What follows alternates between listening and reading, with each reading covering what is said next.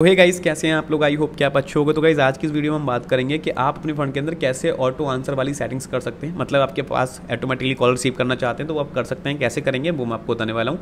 अगर आपने अभी तक हमारा चैनल सब्सक्राइब नहीं किया तो गाइस आपसे रिक्वेस्ट है कि आप लोग हमारे चैनल को सब्सक्राइब कर लो और बेलाइकन को प्रेस करना बिल्कुल मत भूलिएगा।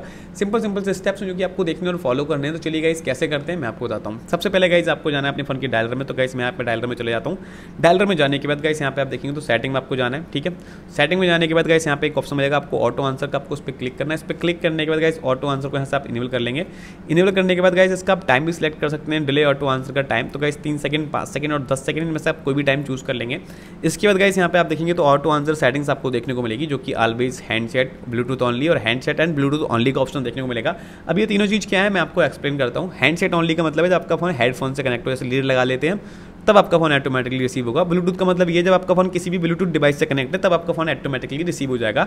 हैंडसेट और ब्लूटूथ दोनों को कंबाइन करके रखना चाहते हैं तो आप रख सकते हैं। ऑलवेज पर रखेंगे तो डेफिनेटली हमेशा आपका फ़ोन ऑटोमेटिकली रिसीव हो जाएगा। तो गाइज़ जो भी सेटिंग्स आपको ठीक लगे, अपने यूज़ के हिसाब से आप रख सकते हैं। तो गाइज़ आई होप कि आपको हमारी वीडियो अच्छी लगी है। वीडियो अच्छी लगी वीडियो को लाइक करो चैनल सब्सक्राइब नहीं किया चैनल को सब्सक्राइब करो, कोई भी डाउट है तो नीचे कमेंट बॉक्स खुला रहता है, आप कमेंट भी कर देना। तो मैं मिलूँगा गाइज़ आपसे किसी अगली और इंटरेस्टिंग वीडियो में, तब तक के लिए बाय एंड टेक केयर